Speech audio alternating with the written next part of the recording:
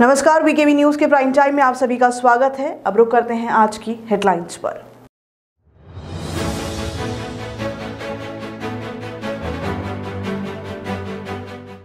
नागपुर में चार करोड़ साठ लाख की 150 टन खराब सुपारी जब्त, नागपुर क्राइम ब्रांच ने की कार्रवाई।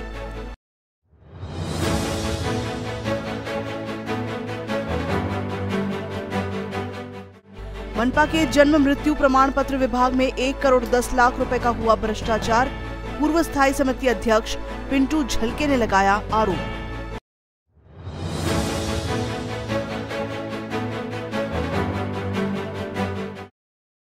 और शनिवार को नागपुर में कार की बोनट पर ट्रैफ़िक पुलिस का सफ़र, वीडियो हुआ viral, Ramdas Peth canal road की घटना।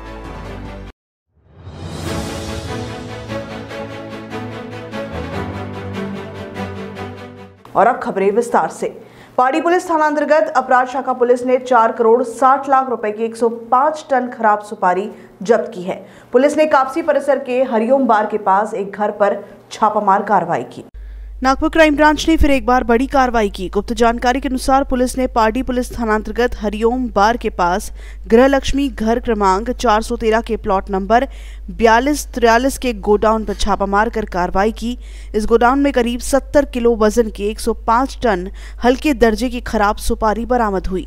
गोदाम के मालिक अनूप नागरिया से पूछताछ की गई, लेकिन उन्होंने ठीक से जवाब नहीं दिया। इसलिए पुलिस ने जब्ती की कार्रवाई की, जिसमें चार करोड़ साठ लाख का माल जब्त किया गया। जिसके बाद पुलिस ने एफडीए को इसकी जानकारी दी। यह कार्रवाई पुलिस उपायुक्त चिन्मय पंडित के मार्गदर्शन में की गई। नागपुर मनपा का एक बार फिर भ्रष्टाचार के मामले में नाम सामने आया है। नागपुर मनपा के जन्म और मृत्यु प्रमाण पत्र विभाग में एक करोड़ दस लाख रुपए का घोटाला होने की जानकारी पूर्व स्थायी समिति अध्यक्ष पिंटू झलके ने दी। उन्होंने बताया कि इस भ्रष्टाचार में वरिष्ठ स्तर के अधिकारी भी शामिल हैं, जिसकी जाँच होनी चाहिए। नागपुर महानगर पालिका के जन्म और मृत्यु प्रमाण पत्र विभाग में एक करोड़ दस लाख का घोटाला होने का आरोप पूर्व स्थायी समिति अध्यक्ष पिंटू झलके ने लगाया है। उनका कहना है कि मनपा के एक नहीं बल्कि कई विभाग में भ्रष्टाचार हुआ है। मनपा प्रशासन ने स्टेशनरी मामले में हुए भ्रष्टाचार में चार कनिष्ठ स्तर के कर्मचारियों को निलंबित किया है। लेकिन इस घोटाले में कई अधिकारी व वरिष्ठ कर्मचारी शामिल होने की बात उन्होंने बताई। मनपा का एक विभाग नहीं बल्कि सामान्य प्रशासन विभाग के साथ स्वास्थ्य विभाग भी शामिल होने की बात पिंटू झलके ने कही। साथ ही उन्होंने बताया कि कोरोना काल में राधा स्वामी सत्संग में 5000 बेड निर्माण का कार्य किया गया था। उसमें भी बेडशीट, डस्टबिन, बेड इन सब में भ्रष्टाचार किया गया था। ऐसे कई भ्रष्टाचार के मामले हैं जिन पर मनपा प्रशासन ने जाँच कर कार्रवाई करनी चाहिए। सामान्य प्रशासन विभाग विभागामध्ये स्टेशनरी खरेदीच्या संदर्भात जो यात अनेक लोक लिप्त आहेत, ज्या चार लोकांना निलंबित आहे. ते कनिष्ठ स्तरावरचे कर्मचारी आहे. यात मोठ्या स्तरावरचे अधिकारीसुद्धा याच्यात इन्वॉल्व आहे असा आमचा आरोप आहे. कारण एकंदरीत कोविडचा जो काळ होता आणि कोविडच्या काळामध्ये मग तो राधास्वामी सत्संगमधलं पाच हजार बेडचं निर्माणाचं कार्य असो त्यावेळी तिथे वेगवेगळ्या बेडशीट घेणे बेड घेणे डस्टबिन घेणे वेगळं अजून काही साहित्य घेणे टॉवेल घेणे चादरा घेणे या सर्व गोष्टींमध्ये त्याहीवेळी भ्रष्टाचाराच्या संदर्भात आम्ही वारंवार प्रशासनाला सांगितलं. पाच दिवस या नागपूर महानगरपालिकेच्या इतिहासात सभागृह चाललं. आणि त्यावेळीसुद्धा आम्ही त्या सर्व गोष्टींचा उहापोह त्यावेळी केला. पण त्यावेळी पण प्रशासनाने या बाबतीत लक्ष घातलं नाही. त्याच्यासोबतच जन्ममृत्यू विभागात नव्याने एक कोटी दहा लाख रुपयाचा घोटाळा झाल्याची माहिती आज मला प्राप्त झाली आहे. त्याच्यामुळे एकंदरीत हे प्रकरण अत्यंत गंभीर आहे आणि या प्रकरणात केवळ खालच्या कर्मचाऱ्यांवर निलंबनाची कारवाई करून चालणार नाही. यात मी आपल्या माध्यमातून माननीय आयुक्त महोदयांना विनंती करू इच्छितो की या संपूर्ण प्रकरणाची योग्य चौकशी करून जे दोषी आहे त्या सर्वांना सरसकट तात्काळ निलंबित करण्यात यावं. कारण याच्यात केवळ चार लोकांना निलंबन करून चालणार नाही. यात मोठे लोकसुद्धा इन्वॉल्व आहे मोठे अधिकारीसुद्धा इन्वॉल्व आहे. त्याच्यामुळे या संपूर्ण प्रकरणाची योग्य चौकशी मान्य आयुक्तांनी करावी. हा हा ही आमची मागणी आहे आणि यात अनेक लोक इन्व्हॉल्व आहे प्रशासनाचे असा आमचा तो उधर एक और चौंकाने वाली घटना में ट्रैफिक सिपाही को कार के बोनट पर घसीटा गया। जबकि अपनी ड्यूटी पर तैनात ट्रैफ़िक सिपाही ने कार के ड्राइवर को नियमों का उल्लंघन करने पर रोकने का प्रयास किया था। शनिवार को रामदासपेट से केनाल रोड पर सनसनीखेज घटना हुई। सूत्रों के मुताबिक केनाल रोड पर रूटीन चेकिंग चल रही थी। उसी दौरान ड्यूटी पर तैनात ट्रैफ़िक पुलिस के एक सिपाही को लापरवाही से चलती हुई एक कार मिली। जिसके बाद पुलिस ने ड्राइवर से गाड़ी खींचने को कहा। हालाँकि चालक ने मौके से भागने की कोशिश की। इस दौरान उसने पुलिस को चकमा देने की भी कोशिश की। नतीजा ये हुआ कि सिपाही कार के बोनट पर आ गया और काफ़ी देर तक कार के बोनट पर वो चलती कार पर सफ़र करता रहा। जिसका वीडियो वायरल हुआ, जहाँ कनाल रोड पर केनरा बैंक के पास कार तब रुकी जब एक दोपहिया वाहन कार के सामने आ गया। आरो वाटर प्लांट को लेकर भाजपा कांग्रेस कार्यकर्ताओं में हाथापाई हो गई। तलेगांव में यह मामला सामने आया। इस हाथापाई का वीडियो भी वायरल हुआ है।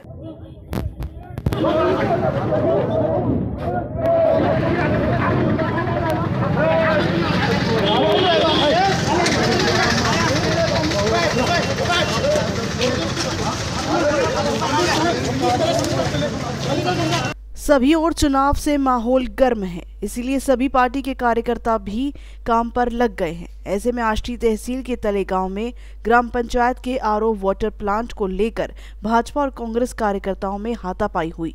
बुधवार को ही मारपीट का चारों ओर वीडियो वायरल होने से राजनीतिक क्षेत्र में जमकर चर्चा हो रही है। तलेगांव के ग्राम पंचायत द्वारा आरओ वाटर प्लांट के लिए उड़ानपुर चौक की जगह नियुक्त की गई है। यह जगह ग्राम पंचायत में नहीं आने के बावजूद आरओ प्लांट बनाने से दुर्घटना की संभावना बढ़ जाती है। साथ ही व्यापारियों को भी परेशानी होगी जिसकी शिकायत भी उन्होंने की है। इसी को लेकर कांग्रेस और भाजपा कार्यकर्ता आपस में भिड़ गए। यहाँ रुकेंगे ब्रेक के लिए बाकी की खबरों को जानते हैं इस ब्रेक के बाद. बाय सब जानना चाहते हैं।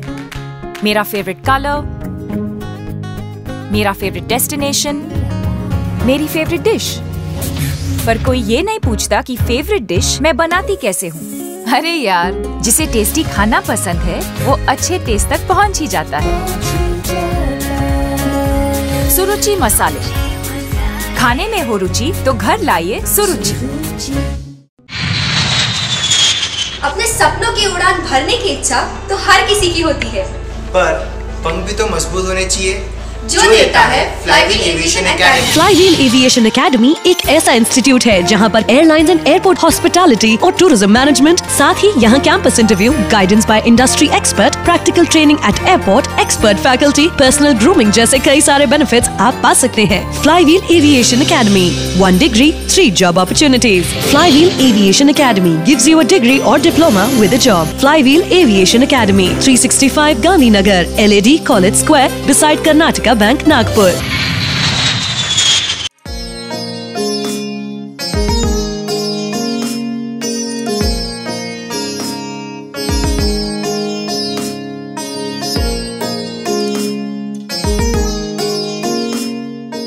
उधर पुणे ज़िले के दौंड तहसील के देउल गाँव गाड़ा में एक स्पर्धा परीक्षार्थी ने आत्महत्या कर ली। मल्हारी बारवकर आत्महत्या करने वाले युवक का नाम है। स्पर्धा परीक्षा की स्टडी करने वाले एक विद्यार्थी ने आत्महत्या करने की घटना पुणे ज़िले के दौंड तहसील के देउल गाँव गाड़ा गाँव में शुक्रवार को सामने आई। मल्हारी नामदेव बारवकर मृतक का नाम है। दौंड तहसील के केड़गांव के एमपीएससी का विद्यार्थी स्वप्निल लोनकर ने आत्महत्या करने की घटना कुछ महीने पहले ही घटी थी और अब मल्हारी बारवकर इस विद्यार्थी ने आत्महत्या कर अपना जीवन खत्म कर दिया। पुलिस द्वारा मिली जानकारी अनुसार शुक्रवार शाम को मल्हार ने घर में ही फांसी लगाकर आत्महत्या कर ली। निराश होकर आत्महत्या करने की बात कही जा रही है। मल्हारी नामदेव बारवकर हा गावातील एक तरुण युवक कार्यकर्ता होता। गावच्या विकासासाठी तो प्रयत्न करत असे, गाव सुधारावं याच्यासाठी नेहमी तो विचार असे. त्याची आर्थिक परिस्थिती नसताना सुद्धा त्याच्या वडिलांनी गेल्या तीन वर्षापासून त्याला एम पी एस सीचे क्लास लावले होते. त्या मुलाचं स्वप्न पूर्ण होण्यासाठी त्यांची शेतजमीन त्यांनी विकली होती. गेले दोन वर्षापासून तो पुणे येथे क्लास करत होता. पुण्यामध्ये युनिक अकॅडमीला त्याने दोन वर्ष क्लास पूर्ण केला. परंतु ज्यावेळेस तो परीक्षेसाठी पात्र होण्याची वेळ आली त्यावेळेस राज्य सरकारने एम पी एस सीच्या परीक्षा पुढे ढकलल्या. त्यामुळे त्याला परीक्षेस दोन वेळा पात्र होता आले नाही. नंतर त्याने मार्च एकवीसला परीक्षा दिली. त्या दिवसापासूनच तो नैराश्यमध्ये होता. गेल्या महिन्यातही त्याने परीक्षेसाठी फॉर्म भरलेला आहे. येत्या दोन जानेवारीला त्याची परीक्षा होणार आहे. परंतु त्या नैराश्य ते नैराश्याच्या गर्तेतून तो बाहेर आला नाही आणि त्याने हे चुकीचं पाऊल उचललं आणि त्याचा याच्यामध्ये दुर्दैवी असा अंत झाला. त्यामुळे हा परिसर पूर्ण हळहळलेला आहे. शनिवार को खेल राज्य मंत्री संदीप सिंह की उपस्थिति में खासदार क्रीड़ा महोत्सव की तारीखें घोषित की गई। साथ ही केंद्रीय मंत्री नितिन गडकरी ने कॉफ़ी टेबल बुक का भी विमोचन किया। इस दौरान अर्जुन पुरस्कार विजेता ज्वाला गुट्टा भी उपस्थित थी। केंद्रीय मंत्री नितिन गडकरी की संकल्पना से साकार हुए खासदार महोत्सव अंतर्गत आने वाले क्रीड़ा महोत्सव की तारीखों का ऐलान और कॉफ़ी टेबल बुक का विमोचन शनिवार को सुरेश भट्ट सभागृह में किया गया। इस दौरान प्रमुख उपस्थिति के रूप में केंद्रीय मंत्री नितिन गडकरी, भारतीय हॉकी के पूर्व कप्तान, साथ ही हिंदी फ़िल्म सुरमा, जिनके जीवन पर बनाई गई है, ऐसे हरियाणा के खेल मंत्री संदीप सिंह और अर्जुन पुरस्कार विजेता अंतर्राष्ट्रीय बैडमिंटन खिलाड़ी ज्वाला गुट्टा प्रमुख रूप से उपस्थित थे।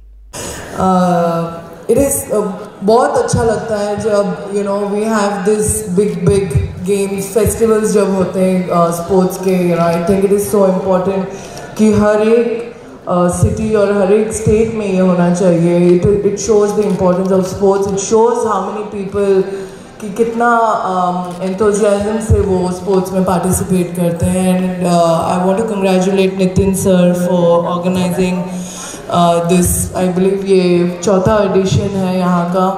एंड आई होप कि ये एक ग्रेट सक्सेस हो फ्यूचर में। And I hope we get champions from this city Nagpur मैं नागपुर में मेरे uh, बहुत बहुत मैं आपका तह दिल से धन्यवाद करता हूँ कि नितिन सर ने मुझे आज इस प्रोग्राम में शामिल किया।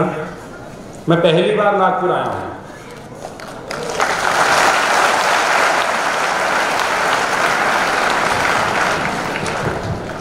अभी कुछ समय पहले मीडिया के साथ थोड़ा वार्तालाप कर रहा था। तो वहाँ पर बात चल रही थी खिलाड़ियों की, कुछ गेम्स की। तो ज्वाला जी 2010 की कॉमनवेल्थ गेम्स की बात कर रही थी तो मैं भी कॉमनवेल्थ गेम्स और ज्वाला जी ने हम दोनों ने एक साथ वो खेली। तो वो समय हम काफ़ी बात कर रहे थे तो उस समय बात चली हरियाणा की। हरियाणा आज की डेट में मैं ये कह सकता हूँ कि स्पोर्ट्स फैक्ट्री है। लेकिन स्पोर्ट्स फैक्ट्री के साथ कई उन्होंने रिकॉर्ड बनाया। अभी हमारे संदीप जी बता रहे थे कि ओलंपिक गोल्ड मेडल को छः करोड़ मिलता है। सिल्वर को चार और ब्रॉन्ज को ढाई। और चौथे नंबर आने वाले को पचास लाख मिलता है। ये पहली बार ऐसा दुनिया में ऐसा राज्य बना है जो इतनी बड़ी अमाउंट ओलंपिक के मेडलिस्ट को दे चुका है। थाने में चेन स्नैचिंग करने वाले आरोपी को कलवा पुलिस ने गिरफ़्तार किया। आरोपी की गिरफ्तारी से और तीन मामले सामने आए। कलवा पुलिस स्टेशन अंतर्गत चेन स्नैचिंग के मामले में बढ़ने से पुलिस उपायुक्त सौ परिमंडल एक थाने, शहर ने चोरी के मामलों पर अंकुश लगाने के लिए आरोपी को गिरफ़्तार करने की सूचना दी थी। इसी आधार पर कलवा पुलिस स्टेशन के वरिष्ठ पुलिस निरीक्षक मनोहर अवहाड़ ने चेन स्नैचिंग के आरोपी को गिरफ़्तार किया। पुलिस ने कावेरी सेतु परिसर में जाल बिछाकर आरोपी को गिरफ़्तार किया। गिरफ़्तार आरोपी का नाम शंकर राजकुमार प्रताप उर्फ़ काम्बले उम्र बीस वर्ष, झोपड़पट्टी निवासी है। आरोपी से पुलिस ने एक लाख अड़तीस हजार का माल जब्त किया जबकि पुलिस ने और तीन नए मामलों का खुलासा किया। आगे की जांच जारी है। चेन स्नॅचिंगच्या गुन्ह्याबद्दल एक टीम तयार केली होती सिनियर पी आय आव्हाड साहेब यांनी। तसेच क्राईम पी आय आजगावकर साहेब यांच्या मार्गदर्शनाखाली आमचे पी एस आय कवळे त्याचा स्टाफ डीबीचा सगळा यांना नेमून मंगळसूत्र चोरीच्या गुन्ह्याकडे लक्ष द्यायला सांगितलं होतं. त्यावरून त्यांनी ज्या ठिकाणी मंगळसूत्र चोरीचे गुन्हे झालेत अशा ठिकाणचं C C T V footage आमचे काही जे गुप्त बातमीदार आम्हाला माहिती देणार आहे अशी चर्चा करून एक लोक एक इसमाला अटक केले त्याचं नाव आहे शंकर राजकुमार प्रताप उर्फ कांबळे. तो राहणार काळव्याचाच आहे. त्याला अटक केल्यानंतर त्याच्याकडून तीन गुन्हे त्याने केल्याचे कबूल केलेले आहे आणि तीन गुन्ह्याचा एकूण एक लाख अडतीस हजार रुपयाचा माल त्याच्याकडून हस्तगत केलेला आहे. त्याच्याबरोबर त्याचा एक साथीदार जो मोटरसायकलवर बरोबर असायचा तो हिप्पो उर्फ गणेश याला अजून अटक झालेली नाहीये. त्याला अटक झाल्यानंतर अजून काही गुन्हे उघडकीस येण्याची शक्यता आहे. आतापर्यंत कळवा पोलीस स्टेशनच्या हद्दीमध्ये एकूण सात गुन्हे मंगळसूत्र चोरीचे झालेले आहेत. त्यापैकी पाच गुन्हे डिटेक्ट केलेले आहे आणि त्याच्यामध्ये चोरीस गेलेला पूर्ण माल आम्ही हस्तगत केलेला आहे. सर हे जे गुन्हेगार होते त्यांच्या आतापर्यंत तरी जो हे आहेत शंकर प्रताप याच्यावर काही गुन्हे वगैरे आमच्या इथं जवळपास तरी दाखल नाही आहेत. हिपोवर काहीतरी गुन्हे दाखल आहेत अशी माहिती मिळते. आहे दोघांच्या बद्दलची खात्री केली जाईल. यांना अजून काही गुन्हे केलेत का त्याबद्दल माहिती घेतली जाईल. आणि पुढील कारवाई केली जाईल. ओके उधर वर्धा में 1971 के भारत पाकिस्तान युद्ध के विजय दिवस के अवसर पर छत्रपति शिवाजी महाराज चौक से अमर जवान रैली निकाली गई। विजय दिवस का स्वर्ण महोत्सव धूमधाम से मनाया गया। 16 दिसंबर को देश में विजय दिन मनाया जाता है। वहीं वर्धा के छत्रपति शिवाजी महाराज चौक से शाम छह बजे इस स्वर्ण महोत्सव पर रैली निकाली गई। रामनगर में रैली का समापन किया गया। विजय दिन मनाने की शुरुआत 16 दिसंबर 1972 को हुई थी।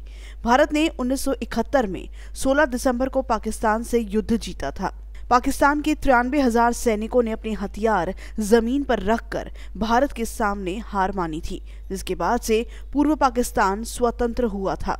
आज यही हिस्सा बांग्लादेश के नाम से जाना जाता है। यह दिन विजय दिवस के रूप में मनाया जाता है। मशाल लेकर रैली निकाली गई और बच्चों ने देशभक्ति के गीत भी गाए।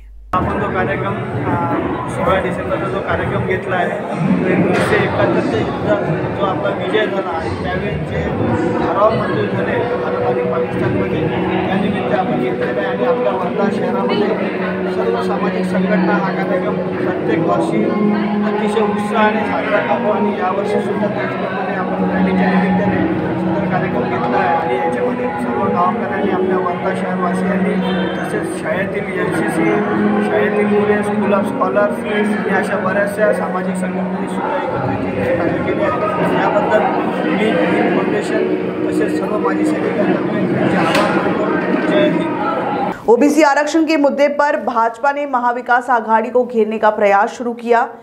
ओबीसी आरक्षण बचाने में राज्य सरकार असफल होने की टिप्पणी भाजपा नेताओं द्वारा की जा रही है। इस संबंध में राष्ट्रवादी के प्रदेशाध्यक्ष और जल संपदा मंत्री जयंत पाटिल ने भाजपा पर पलटवार किया।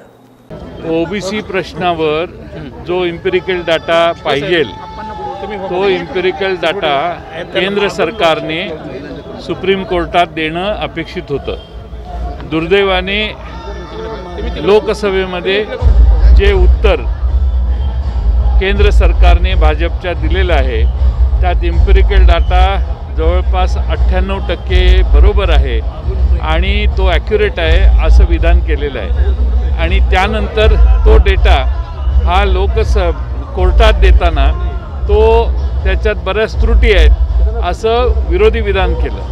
आणि आता तर ते म्हणतात डेटा तसा उपलब्ध नाही. ह्या सगळ्या भूलतापा केंद्र सरकारच्या आहेत. केंद्र सरकारने भार भारतातल्या महाराष्ट्रातल्या नाही सगळ्या भारतातल्या ओबीसींचं फार मोठं नुकसान केलेलं आहे. आणि इम्पेरिकल डाटा करण्याची पुन्हा म्हणजे जे यापूर्वी सर्वे झालेला आहे जो दोन हजार अकरा ते चौदाच्या दरम्यान झालेला होता तसं आता पुन्हा सर्वे करण्याची पाळी केंद्र सरकारच्या आडमुठे धोरणामुळे आलेली आहे. आम्ही ओबीसीचं आरक्षण महाराष्ट्रात राजकीय जे आरक्षण आहे ते मिळवण्यासाठी कुठेही कमी पडणार नाही. पण मुद्दामून खोट घालण्यासाठी केंद्र सरकारने सुप्रीम कोर्टात ही अशी भूमिका घेतली आहे. आणि म्हणून फक्त महाराष्ट्रातच नाही तर मध्य प्रदेशमध्ये देखील आता ओबीसीचं आरक्षण गेलेलं आहे. उद्या गुजरात कर्नाटकमध्ये आणि थोड्या दिवसांनी यू पीमध्ये देखील हीच गोष्ट होणार आहे. आणि त्यामुळं भारतातल्या ओबीसींच्या विरोधी भारतीय जनता पक्षाने घेतलेली भूमिका ही अनाकलनीय आणि दुर्दैवी आहे. आज खबरों में बस इतना ही। फिर मिलेंगे बाकी की खबरों के साथ। तब तक लिए देखते रहिए वीकेबी न्यूज़ नमस्कार।